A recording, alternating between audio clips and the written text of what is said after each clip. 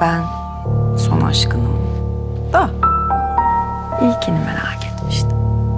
Kardeşlerim dizisinde hayat verdiği Suzan karakteriyle adından söz ettiren Ahu Yatu, salı gecesi Asmalı Mescid'de bir mekanda eğlendi. Ünlü mankenin yanında son dönemde sık sık beraber görüntülendiği Can Tursan vardı. Çıkışta Tursan, Ahu Yatu'nun aracına binmek üzereyken kameraları fark etti ve fikir değiştirip taksiye doğru yöneldi. Petit, tu verras si tu crois en toi. Petit à petit,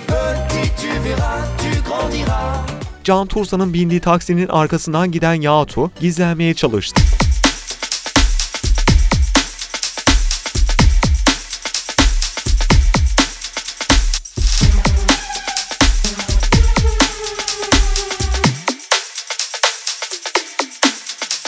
soruları yanıtsız bırakıp uzaklaştı.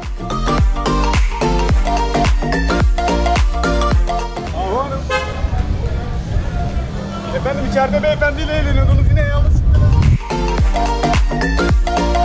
Ahu Yatu geçen haftalarda beraber doktora gittiği Tursan'la sadece arkadaş olduğunu söylemişti. Doğruları yazalım diye. Lütfen rica edeceğim. Beyefendi kim? Ee, arkadaşım.